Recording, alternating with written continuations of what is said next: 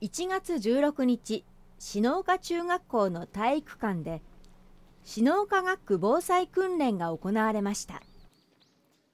防災訓練は地域住民の防災力の向上を目的に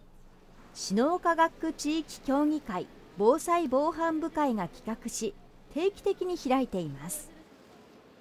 この日はエスクルーと呼ばれる中学生ボランティアが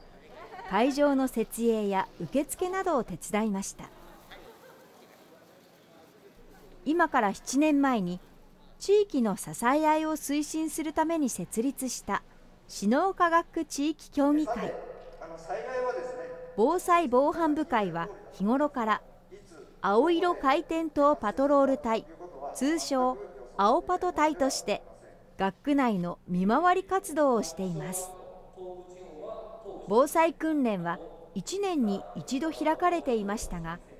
今回は新型コロナの影響でおよそ3年ぶりの開催となりました。参加したのは防災防犯部会のメンバーをはじめ自主防災会婦人消防クラブの会員などおよそ100人です。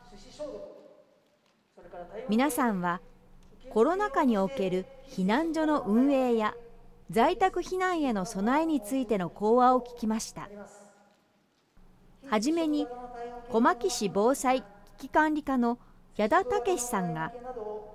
新型コロナウイルスを踏まえた避難所運営の講話を行います。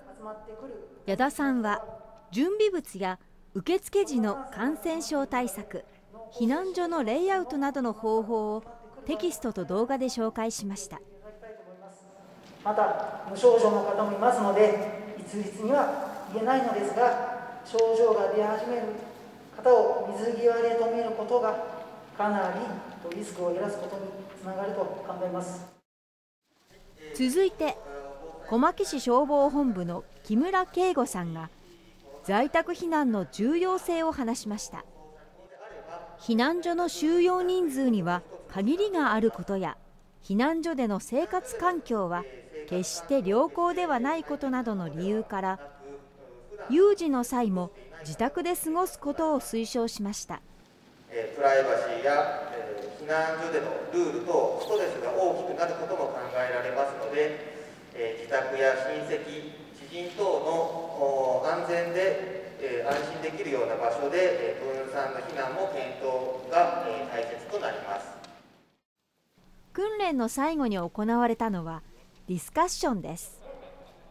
参加者同士が不安に感じていることや備蓄している防災グッズの情報などを共有しました。参加者からは土地の地盤の強さを調べ直したい。蓄えている食料の賞味期限が切れていないか確認したいと声が上がっていました。